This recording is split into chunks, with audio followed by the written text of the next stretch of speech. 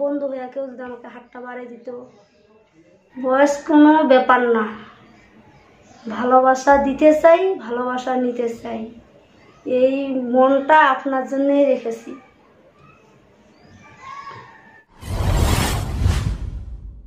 এসেছি একজন অসহায় বোনের জীবনের গল্প তুলে ধরতে। তো আমরা এই বোনটির সাথে কথা বলি। আপু আসসালামু আলাইকুম। ওয়ালাইকুম কেমন আছেন? আছি ভালো। আপনার নাম? আমার নাম মুসাম্মদ শিল্পী। একটু জোরে কথা বলবেন। মুসাম্মদ শিল্পী। মোসাম্মদ শিল্পী। আহ, তো শিল্পী আপু আপনি ইউটিউবে কেন আসছেন? ইউটিউবে আসছি একটু দুঃখের কথা কোয়ার জন্য। আমার বাবা মা অসহায়। হুম। আমি গরিব গরিব মায়ের সন্তান। খাইতে পারি না নিতে পারি না। হুম। আমার বাবা মা কিছু দিতে পারে না। অসহায় বাবা মা ধরে কি করি খাই কি করি না খাই। এই জন্য আসছি আচ্ছা তা আপনার দুঃখের কথা বলতে আসছেন বিয়ে হয়েছে? বিয়ে হয়েছে। স্বামী আছে? বর্তমানে স্বামী নাই। কতদিন থেকে স্বামী নেই? দশ বছর থেকে নেই। দশ বছর। তো দশ বছর থেকে স্বামী নেই কেন? স্বামী অন্য সংসার করছে। স্বামী অন্য সংসার করছে? আমি দেখতে ভালো না। স্বামী এবার ভালো দেখিয়ে নিছে আপনি দেখতে ভালো না। স্বামী ভালো দেখে নিয়েছে। আসলে স্বামী কেন ভালো দেখে নিয়েছে? সেই কথাটা একটু বলুন না। আমি গরিব মানুষের সন্তান আমার বাবা মা জমি জায়গা কিছু নাই টাকা পয়সা দিতে পারে নাই।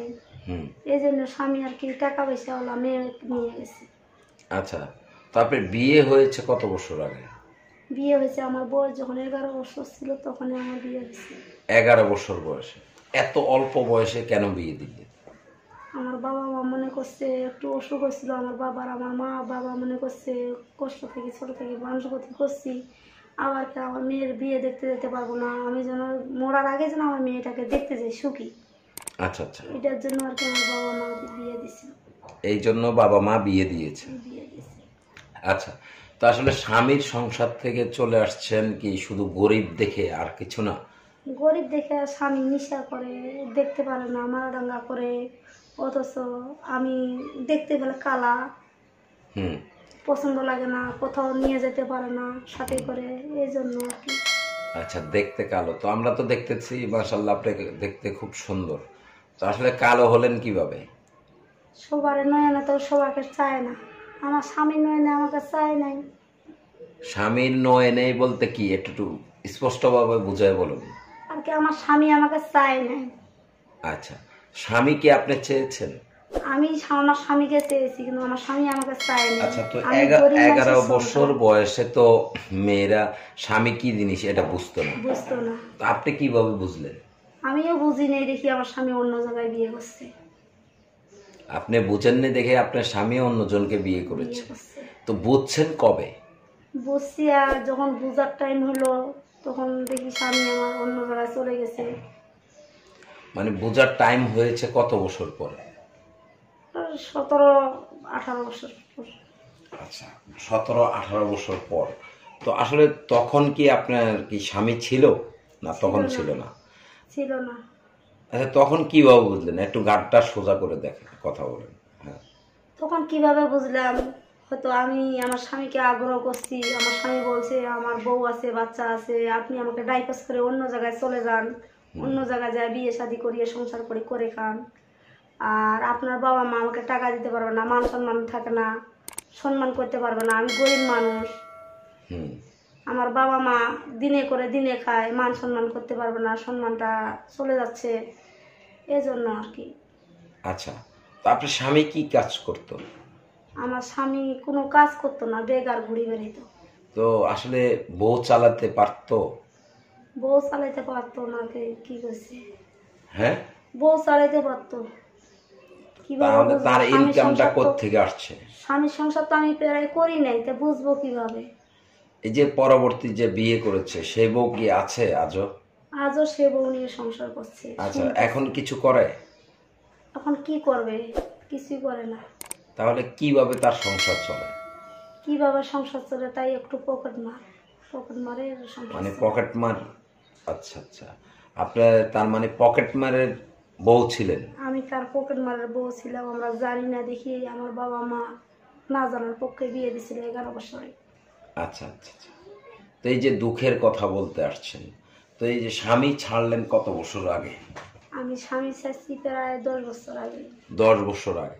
তো এখন মানে আর বিয়ে বসলেন না কেন? বিয়ে বসলে মানে কি আমার বাবা মা বিয়ে দিতে পারে না। হ্যাঁ বাবা মা বিয়ে দিতে পারে নাই। টাকার প্রভাবে বাবা মা অন্য জায়গায় বিয়ে দিতে পারে না। আচ্ছা। টাকা পয়সা নাই কীভাবে কি করবে? অত সময় যৌতুক চায় টাকা চায় টাকা ছাড়া বিয়ে হয় না। আচ্ছা টাকা ছাড়া বিয়ে হয় না। তো আপনার এই যে যখন স্বামীর সংসার থেকে আসছেন তখন কি আপনার কোনো সন্তান ছিল? না ছিল না। কোনো সন্তান হয়নি? না। আসলে সন্তান কি নেন নেই না হয়নি স্বামী নেই নেই সন্তান আবার থেকে আসবে? না আপনি নেন নেই স্বামী যায়নি। স্বামী চায়নি? আচ্ছা কি তখন আপনি কীভাবে বুঝলেন যে আসলে আপনার স্বামী চায়নি বুঝলাম একটাই আমার স্বামী আমাকে উঠতে বসতে কইতো তুমি কালা গরিব মাইসের মেয়ে আপনার বাবা মা আমাকে এমনিতে বোঝা তুলে দিছে। এটার জন্য আর কি বুঝতে পারছি এই জন্য আমি আমার স্বামীর পছন্দ না দেখে আমার স্বামী আমার কোনো আগ্রহ করতেছে না। আচ্ছা তো এই যে স্বামী ছেড়ে দিলেন। এখন কীভাবে চলেন আপনি? এখন কীভাবে চলি? এখন এই অবস্থায় আছি কোথাও কোনো জায়গায় বাবা মা দিতে পারে নাই।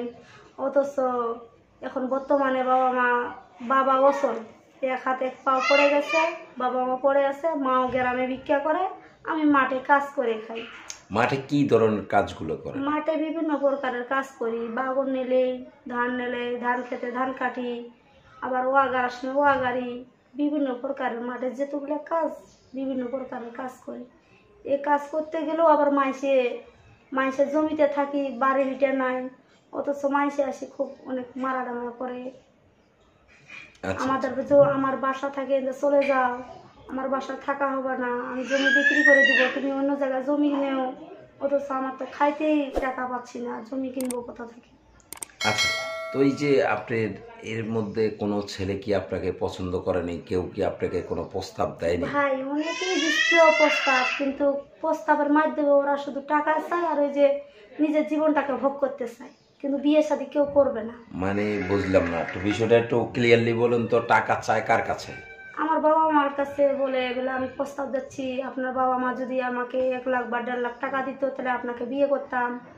আর অথচ বিয়ে যদি না করে কোনো ছেলেকে আবার বলে বলে বিয়ে করব না। আপনি আমার সাথে মজা করেন বিয়ে বসার দরকার নাই। আচ্ছা মজা করেন বলতে বুঝলাম না বিষয়টা। একটু যদি ক্লিয়ারলি বলতেন। আর কি অন্য ছেলে বেলে আমার দেহর দিকে দেখে বেশি কিন্তু বিয়ে করতে চায় না। মানে আপনার দেহর দিকে তাকায় আপনাকে বিয়ে করতে চায় না। না। মানে দেহ ভোগ করতে চায় কিন্তু বিয়ে করবে না। না বিয়ে করবে না। আচ্ছা তো এই যে আমাদের ইউটিউবে আসছেন কি আপনি শুধু দুঃখের কথা বলতে না কোনো সাহায্য সহযোগিতার জন্য? কোনো সাহায্য সহযোগ- সহযোগিতার জন্য। ইউটিউবে আসছি যেহেতু আমাকে কেউ যদি আবার একটু সাহায্য করতো টাকা পয়সা দিয়ে বা ওরকম যদি ভালো চেংড়া বাংরা পাইতাম বিয়ে শাদি বসতাম। আচ্ছা বিয়ে সাথে বসতেন। আচ্ছা তো ইউটিউবে তো অনেক মেয়েরা এসে বলে বিয়ে বসতাম ভালো ছেলে হলে। এরা তো প্রতারণা করে। আপনিও কি প্রতারণা করবেন? না ভাই আমি প্রতারণা করব না। আমার পৃথিবীর মধ্যে কেউ নেই আমার বাবা মা ছাড়া। আচ্ছা তো টাকা পয়সা খেয়ে আবার ছেলেদেরকে বলক টলক করে দিবেন না তো? না ভাই এই কাজ করব না। আমি এরকম তো সব মেয়েরাই বলে। আপনিও বললেন? না ভাই আমি এইভাবে আমি যেটা বলি সেটাই। আমি এই ধরনের কোনো কাজ করব না। এই ধরনের কোনো কাজ করবেন না। আচ্ছা কেমন বয়সের লোক হলে বিয়ে বসবেন? ভাই দেখেন কেমন বয়স আর? যেহেতু আমার সাথে একজনে মিছিল বা অথচ আমার বয়স যদি আবার আঠারো থেকে বাইশ বা তিরিশ হয় ও না হলো পঁয়ত্রিশ এই কম। এখন আপনার বয়স কত? এখন বর্তমানে বয়স বত্রিশ। ন্যাশনাল আইডি কার্ডে কত আছে? ন্যাশনাল আইডি কার্ডে আছে তোমার পঁয়ত্রিশ। পঁয়ত্রিশ। তা আপনার তো ন্যাশনাল আইডি কার্ডই তো মানুষ ফলো করবে তাই না? হ্যাঁ। তা আপনার পঁয়ত্রিশ বছর বয়স আপনি আসলে কত বছরের ছেলে ছেলে হলে বিয়ে বসবেন চল্লিশ পঞ্চাশ। আরেকবার বলুন। চল্লিশ পঞ্চাশ। চল্লিশ পঞ্চাশ বয়সের লোকের কাছে যে বিয়ে বসবেন বিয়ে বসবেন তো আসলে তাকে বিয়ে করবেন না তার টাকা পয়সাকে বিয়ে করবেন।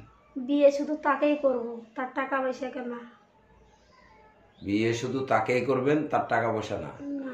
তো আসলে তাকে বিয়ে করে আপনি পঁয়ত্রিশ বছরের একটা মেয়ে আর একটা পঞ্চাশ বছরের ছেলের সাথে কি সংসার করতে পারবেন? চেষ্টা করব ভাই যেহেতু আমি ভাবি সংসারের মেয়ে ও যেহেতু আমার কাছ থেকে সুখ দুঃখের হিসাবটা করিয়ে চলতে পারে। আচ্ছা। তা আসলে মানে শুধু তাকে চান টাকা পয়সা না? না ভাই। আচ্ছা তা আপনার সাথে যোগাযোগের কোনো ব্যবস্থা আছে? আছে ভাই। কি ব্যবস্থা আছে? আমার ফোন আছে। আপনার ফোন নাম্বার? আচ্ছা কথা বলতে পারে অনেকে খারাপ কথা বলতে পারে। সব কিছু জেনে শুনে আপনার নাম্বারটা দিয়েছেন তো? জি ভাইয়া। সব কিছু জেনে শুনে দিয়েছেন? হ্যাঁ। কারোর সাথে প্রতারণা করবেন না তো? না ভাইয়া। আচ্ছা। তো ঠিক আছে, আর কিছু বলার আছে আপনার? ভাইয়া, আমার বলার আছে কি, আমি অসহায় মানুষ, আমি এটুকু বলতে আসছি আমার মনের দুঃখের কথা। বা অসহায়, আমি বাবা মাকে নিয়ে চলতে পারি না, খাইতে পারি না।